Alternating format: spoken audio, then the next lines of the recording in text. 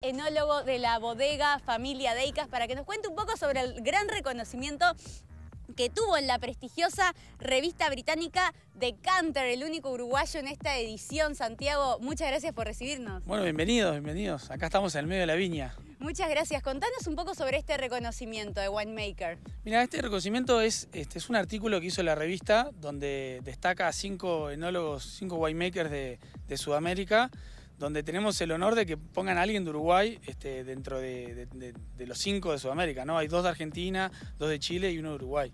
¿Y cómo llegan a vos? ¿Te reconocen por tu trabajo? Mira, este, son, son publicaciones que, siguen de cerca lo que, lo que se hace en cada país. Eh, han probado los vinos varias veces de lo que hacemos en Uruguay, lo que se hace en Argentina y en Chile, y están al tanto de, las locuras y las innovaciones que hacemos y se ve que eso les, les llamó la atención.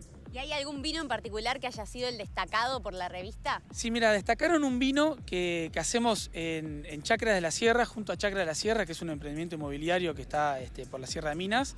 Y ahí es un viñedo que plantamos sobre roca madre. Hicimos una locura, tuvimos que llevar este, tierra de, las zonas bajas para. Porque está plantado sobre la roca pura, ¿no? O sea, imagínate que la, la plantita le costaba echar raíces tuvimos que poner riego, este, hacer un trabajo impresionante. Cuando empezó a crecer el viñedo, vinieron los guasubirá, se empezaron a comer a las plantitas chiquitas. No, no, tuvimos que poner una red para proteger el guasubirá. Venían los chanchos jabalí a romper la red, pusimos un cerco eléctrico para que no entre el, chancho jabalí. Un laburo impresionante. Haberlo logrado sí merecía un reconocimiento. Sí, mira, el vino justamente es este que está acá, que este, muestra, por ejemplo, es el Extreme Vineyard de familia Deicas, Cerro del Guasubirá, donde tiene la roca, este, la roca madre mostrando un poco eso. Y bueno, son ejemplos, por ejemplo, este ejemplo de todo el trabajo que tuvimos que hacer para lograr un vino que después tuvo un destaque enorme porque tiene una amplitud aromática enorme de diferentes aromas de, cereales, minerales, frutas frescas, flores, una textura muy, muy, muy particular. Después también lo pasamos por ánfora de, barro, que tampoco es algo muy, muy este, usual hoy en día. Sería como un vino ocasional, digamos, para cuando viste querés ir a la casa de alguien y llevar un regalo, este es un buen vino para... Sí, vino para regalo es ideal, o sea, es un vino que, ronda los mil y pico de pesos, o sea, tampoco es un vino para tomarte todos los días.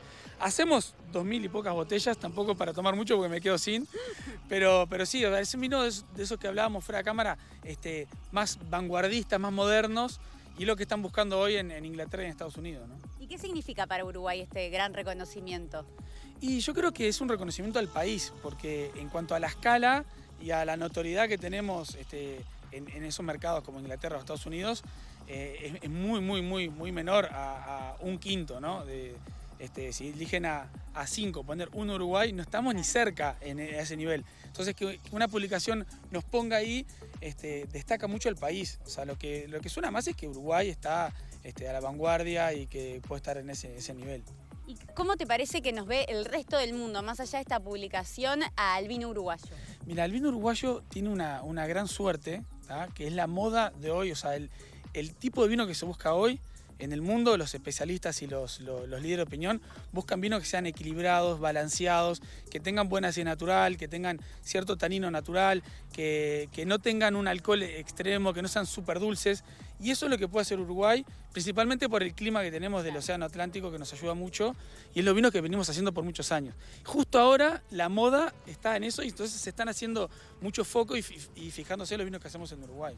Está buenísimo que nos empiecen a reconocer, ¿no? Por la elaboración, por, la producción. Mira, para mí es increíble. Yo estoy con esto de que soy muy chico, o sea, desde el 2001 estoy viajando y visitando mercados y representando al país y nunca había sentido una, intención de, conocer los vinos de Uruguay y que te piden, y ahora estamos exportando muy bien, están creciendo mucho las exportaciones, mucho por esto, ¿no?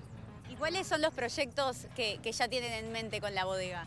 Y mira, tenemos ahora estamos por lanzar un albariño de familia Deicas en la línea Atlántico Sur, que también es otro, otro golazo que tenemos, mucho por la investigación que se ha hecho en Uruguay y también por la moda. El albariño se ha puesto de moda a nivel internacional y Uruguay puede hacer excelentes albariños, o sea, la más alta calidad del mundo se puede hacer en Uruguay, en Galicia, y en algunas otras pocas partes del mundo. Entonces, tenemos esa suerte de una variedad que está recontra moda, que sea bárbaro en Uruguay como el albariño, y Familia se está lanzando uno ahora en, a fines de octubre.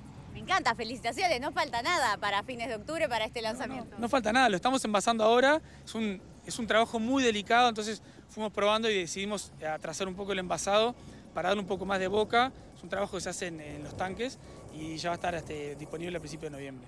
Me encanta, Santiago. Muchísimas gracias. Gracias a ti.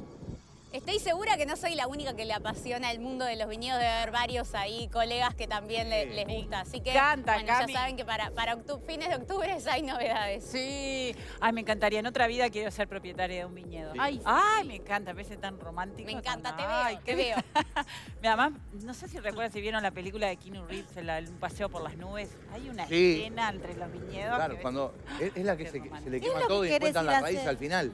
¿Qué es lo que querés ir a Sí, hacer? Quemé el final, para el que no la vio, quemé el final de la película. ¿Viste el final? Claro. ¿Pero qué quieras ir a hacer Cuca al viñedo? No, es como sé, romántico quedó hacer un claro. paseo por entre Claro. los viñedos. Corriendo. Porque uno al viñedo va a trabajar, a cortar las Claro. uvas.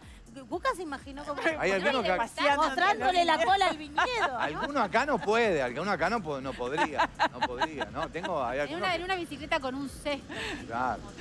Bueno, Cami, volvemos Beso con vos en un rato, ¿eh? Felicitaciones. Hermoso, ¿eh? Nos vemos después. Muy lindo. Chau, chau. Chao. Es impresionante. El reconocimiento de los vinos en todas partes del mundo es fabuloso. Totalmente. En nuestro país Totalmente. Hay algunos a- funcionando. a compañeros que acá no pueden, pasan por abajo una parra y ya quedan. ¡Eh, qué pasó, qué pasó! ¿Qué dicen. dice? Pelean, sí, ¿Qué sí. Pasan por el costado y tremendo. Bueno, momento de presentar.